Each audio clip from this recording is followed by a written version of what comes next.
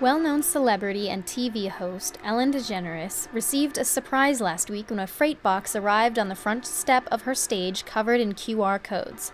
The only items inside the box were a cover letter and a resume, but the codes led to this. Ellen, you need the best people on your team. That's why you should know I'm more than I seem. Ellen, this is round two in my endeavor to be the best Washington State University graduate Erica Norris produced a video where she advertised herself via a resume rap. Norris has aspired to working for Ellen since before she graduated this past spring. She took the risk and put herself out there to follow her dream.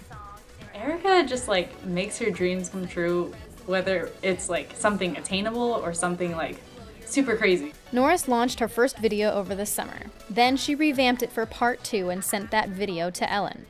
Last week, the celebrity invited Norris to watch the Ellen DeGeneres show live in Los Angeles.